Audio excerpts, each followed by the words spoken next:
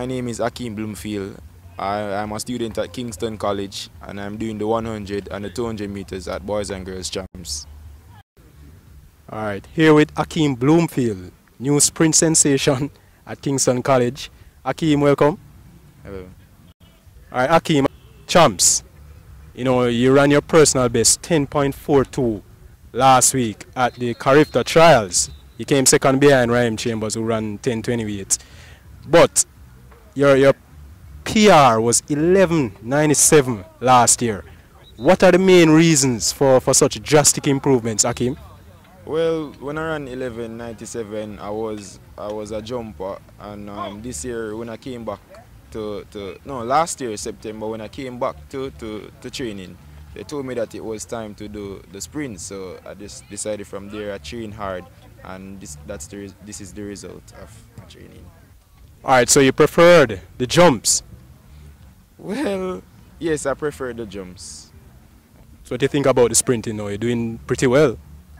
Um, well, not as good as I I want to perform, but I'm I'm happy with my um, performances thus far. You had some injury problems last year, right? Yes. How is that going? Well, um, last year when I came back, the um, they knew that I had um, some problems with my hips and my groin. Well, we just worked. We took a month and a month, practically a month and a half, and we just worked through them strengthening programs, and yeah, they they, got fixed. So you're 100% now. Well, not 100%, but I'm getting there. Speaking of hips, it's normally a problem for tall sprinters. I remember Usain had it. Is Usain one of your role models?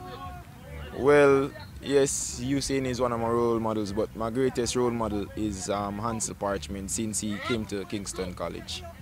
All right, Akeem, you're a new sensation now. A lot of people have been talking about you since that, that brilliant 10.4 you ran at JC. How has your life changed since? Are, and are you feeling any pressure? Well, um, I don't see any drastic change in my life. It's just that now people pay more attention to me and uh, yeah, but I don't feel any pressure because I tell myself that it, it, doesn't make any sense that I pressure myself because I will get nowhere with that. Even with the heightened expectations? well, people will always, to, to who much is given, much is expected. And I mean, I, I don't really put myself out to perform for what people expect. I just do my, go out there and do my best at all times. Speaking of expected, what are the expectations for yourself come champs? I mean, you'll be going up against Raheem Chambers. He's a big man in class two. What are your expectations for yourself? Objectives? Well, um, I just plan on going to boys and girls champs, making both the 100 and 200 meter final and just scoring maximum points, the, the maximum points I can for my school. A lot of people are just getting familiar with Akeem Bloomfield. Tell us a little bit about yourself. well, uh, apart from being a student athlete at Kingston College, I mean, um, I uh, in in the future I would like to be a, a cardiologist, and uh, yeah, I'm just a fun person. I work hard, and I, I, I shall achieve my goals.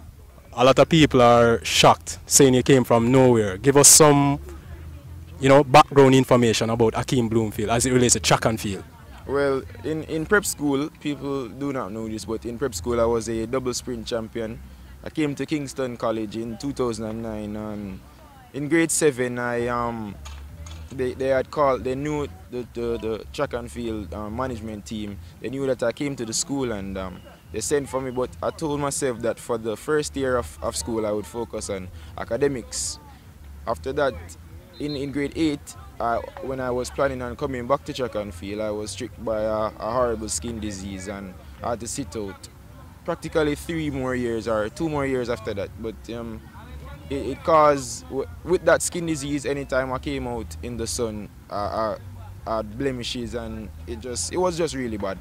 And I had to sit out a lot of time for that. Um, I came back to track and field in grade, mainly grade 10. I'm in grade 11 now, I'm a fifth form student when I came back to track and field in grade 10, I was struck by so many injuries. Um, I was growing and my body wasn't used to the, the, the training as yet.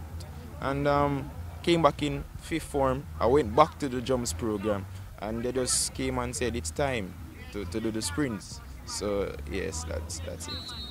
Well, Akeem, you're doing very well in the sprints. Continue to, ri to rise and all the best at champs. Thank you.